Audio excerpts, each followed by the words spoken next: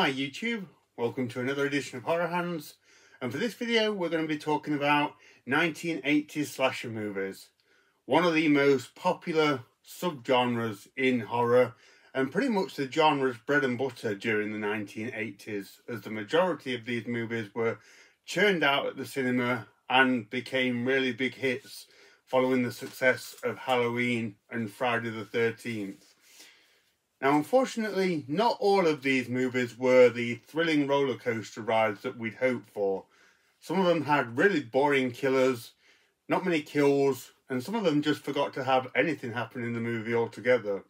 So for this video, we're going to look at five 1980s slasher movies that were just way too slow. So first up, we have Blood Theatre from 1984 which may win the prize as the most boring movie in my collection. I've got some pretty slow films, but this one is pretty hard to get through. Coming in at just over an hour long, but you will feel every single minute of that hour as virtually nothing happens in this one. This is the story of some staff that work at a cinema and they're reopening this cinema, but they are apparently being killed off by an unseen killer. But there's really not much to say about this one. It's endless shots of staff stood around talking, moving furniture around, moving a plant pot around in the lobby, and that is about all you get from this one. There's a couple of quick kills towards the end of the movie. I think most of them are off screen. There is a killer in this one, but I can hardly remember what he looks like or if he even has a motive. But believe me, virtually nothing happens in this one. It's a terrible film. Now, director Rick Sloan, who was only a teenager at the time, he was only able to get this made by faking a 10 page script, which, if you've not even got a 10 page script, I would suggest there's not much going on in this movie, which evidently there isn't, but that gives you some kind of indication as to uh, how little was put into this one. So, yeah, Blood Theatre, a painfully slow and dull movie. One of the worst films I've seen released by Vinegar Syndrome, and unfortunately, it's that boring. I would say to avoid this one at all costs. Next up, we have Death Screams from 1982. And I was so excited when I saw this one getting a release from Arrow. I had not seen it before, but it had really cool cover art, and I like the title as well, Death Screams. It's a pretty hard hitting title, so I was really excited but yeah, this one, another boring disappointment. Not far behind Blood Theatre in its just endlessly plodding plot. Mainly made up of uh, students and teenagers stood around talking. The movie starts off at this like carnival scene where they just stood around talking to each other. And then later on they sit around in this graveyard telling stories. Now the graveyard setting is pretty cool. That has a bit of atmosphere to it, but again, nothing happens during this movie. There's a few okay kills right at the end of this one. I think a guy gets his fingers chopped off, which was probably the highlight of the movie.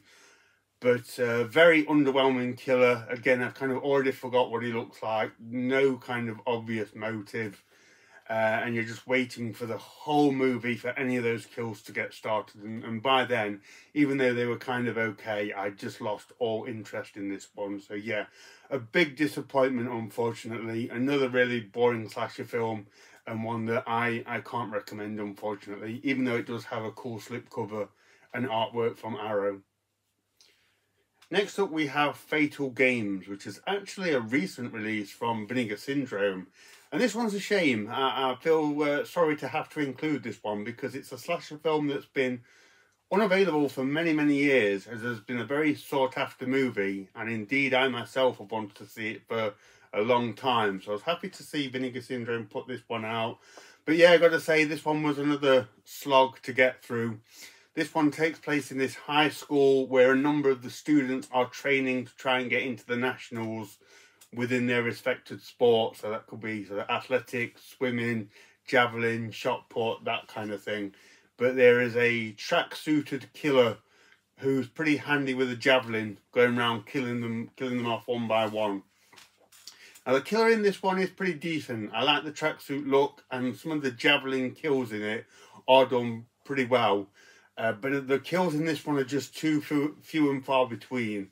The majority of the movie is spent again with the, the, the students and kind of their love life and their sort of the sports side of things, which uh, just goes on for a bit too long. And although again the killer was pretty cool, it's almost like the killer in this one is just incidental, and they kind of occasionally shoehorn scenes of the killer prowling around as and when they think about it, rather than the killer having any kind of presence or menace and really kind of going after everyone.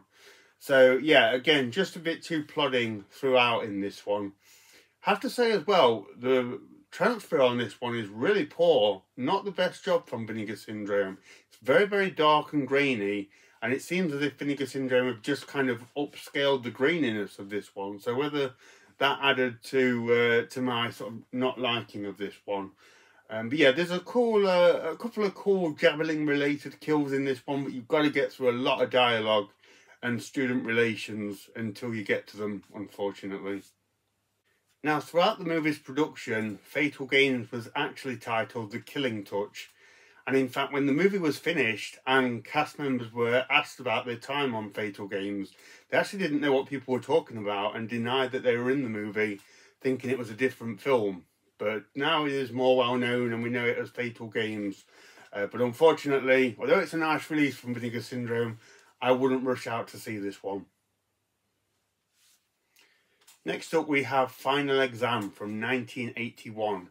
And boy, this is one of the most what on earth were you thinking films that I've seen.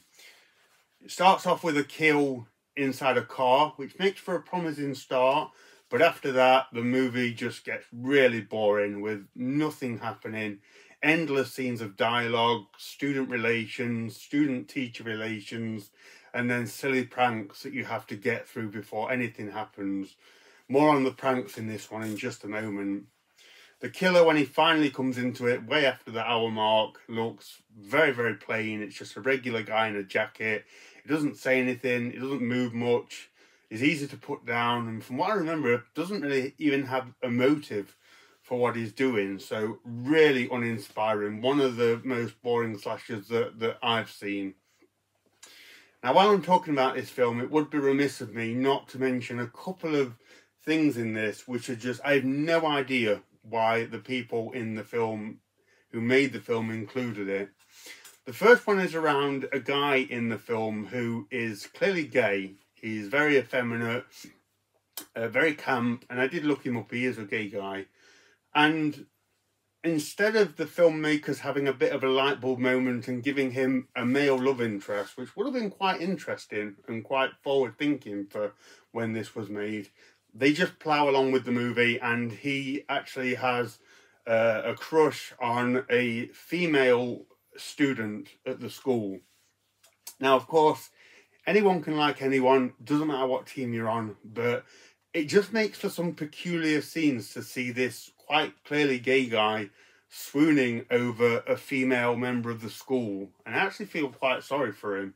Uh, so why they just went with that, I have no idea.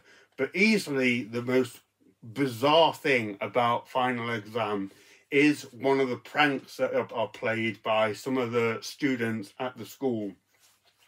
A group of the students in this movie think it would be a great idea to fake a mass school shooting.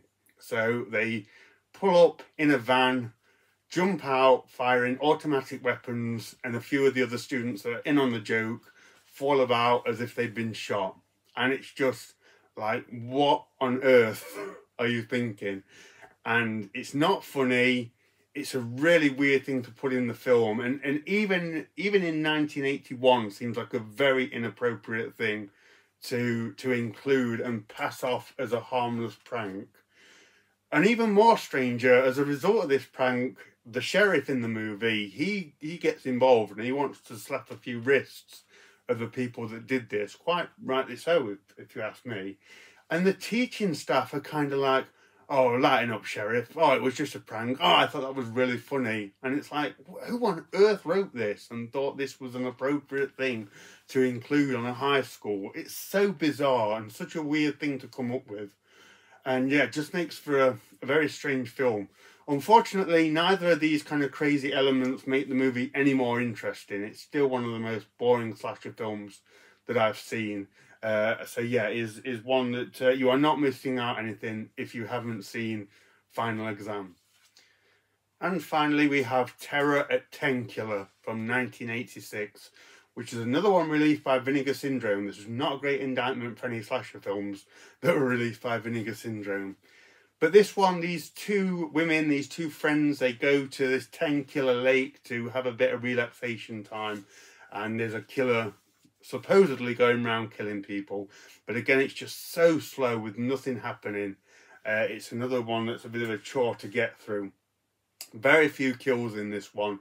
The women are menaced a little bit over the phone and when there's a killer lurking out in the woods, but there's no real kind of in-your-face kills or violence. Uh, and again, the killer just look, he looks so plain. It's just a regular looking guy. I don't know why they didn't sort of play around with his features more. Uh, it's always a bit of a disappointment when it's just a, a plain clothes guy that's doing the killing.